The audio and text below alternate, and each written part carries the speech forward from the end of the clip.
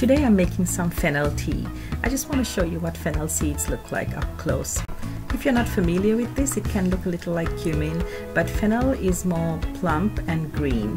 So I've rinsed it a little bit in this strainer under running water and I'm putting it in the pan. First we have to toast these seeds until they're slightly brown. Don't toast until they're popping out of the pan because that's taking a little too far.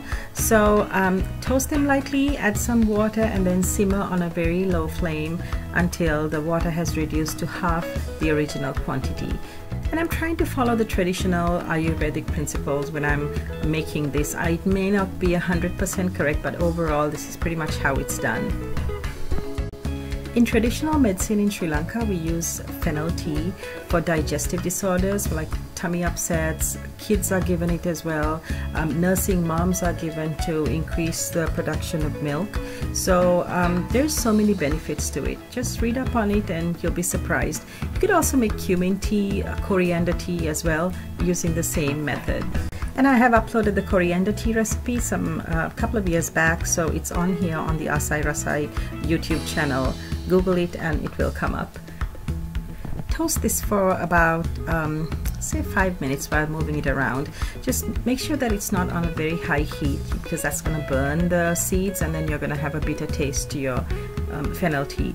You will also notice that as it dries, it becomes more fragrant and then the, um, the seeds also move around more loosely. The pan tends to become a little brown at the bottom. You can see that. Um, and that's pretty normal. Just make sure that it doesn't become too brown. Again, it's going to give that bitter taste to your fennel tea. I'm using about 3 tablespoons of fennel seeds and I'm adding about 5 to 6 cups of water. So this is going to reduce to half the quantity of water once it's done and that's the strength that you want to achieve.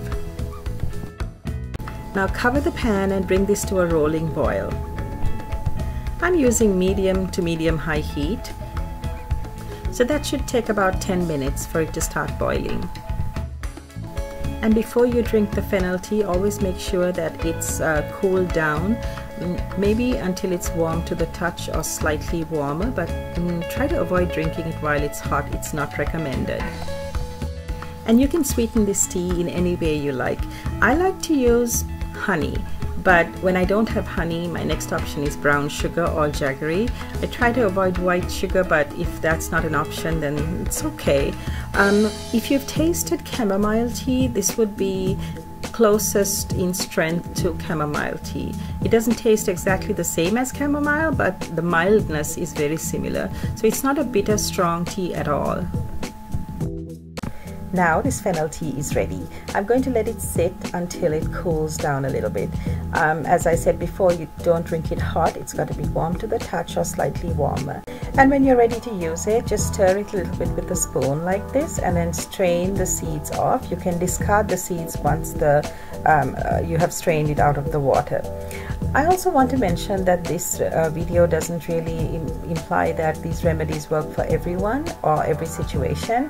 Please consult your doctor and do not try to self-medicate with home remedies because most often these remedies are just um, given during uh, non-life threatening situations and uh, when symptoms are very mild um, if, and mild symptoms can quickly become more serious as well. So you always consult a physician before you try anything out at home. Also note that home remedies can sometimes conflict with uh, prescription medication. So that's another thing to keep in mind. Okay so I have I didn't need to strain the first part of this tea because the seeds have settled down but to get the bottom half of the tea you would need to use a strainer to separate the seeds. So I'm adding a little bit of honey. You can put as little or as much honey as you like um, to your level of sweetness.